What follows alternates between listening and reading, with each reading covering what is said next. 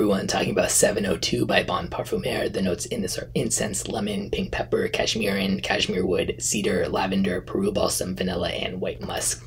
So the incense type of accord here is very much that kind of like raw olibanum frankincense kind that's like cold yet burning at the same time. The kind that's often combined with marine notes for those who have tried a lot of the kind of incense marine category. The lavender here is powdery and sweet with the vanilla.